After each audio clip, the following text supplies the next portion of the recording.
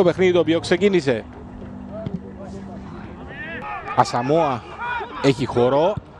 Δίνει στον Σαντίκ εντός περιοχής. Ψάχνει χώρο για να κάνει το σουτ με το αριστερό. Κοντράρει η μπάλα.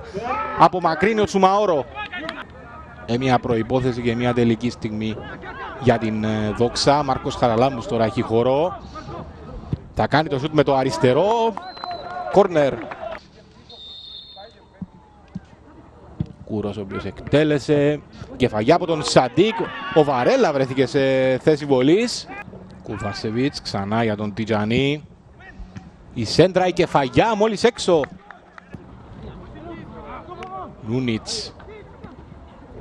Περνά ο Νούνιτς εντός περιοχής. Κάνει το πλασέ. Απόκρουση από τον Πρινιωτάκη. Αυτή νομίζω είναι η πιο μεγάλη ευκαιρία στο παιχνίδι. Τώρα είναι ο Τιτζανί.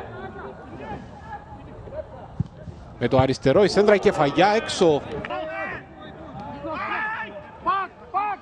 Πάεκ τώρα προσπαθεί ένα σούτ από μακρινή απόσταση από τον Αριστοτέλους. Όλης έξω προς τον Σάση. Το γύρισμα και πάλι στον Σαντίκ για να δούμε αν θα κάνει το 1-0 έξω. Προσπάθησε να παίξει κάθετα, δεν πέρασε την μπαλά Σαντίκ. Τρολέ. Υπάρχουν προϋποθέσεις εδώ για την δόξα. Ο Τρολέ το σούτ έξω. Ε, κρίνονται κάποιοι παίκτες της ε, δόξας εν αντιθέσει με τις ΠΑΕΚ που είναι και λίγο πολύ επιλογή τους. Κάθετη στον Τρολέ, το σούτ, η μπάλα στα δίχτυα στη θέση offside όμως. Ο Ντρολέ, για να δούμε εδώ, κάθεται από τον Ασαμόα. Ο Ντρολέ φαίνεται να είναι λίγο πιο μπροστά από τον Σουμαόρο. Νικητής ο Καραμανόλης. Ο Ντρολέ τώρα φεύγει στην πλάτη της άμυνας της ΠΑΚ. Είναι ευκαιρία εδώ για την Δόξα. Θα κάνει το πλασέ έξω. Κόρνερ.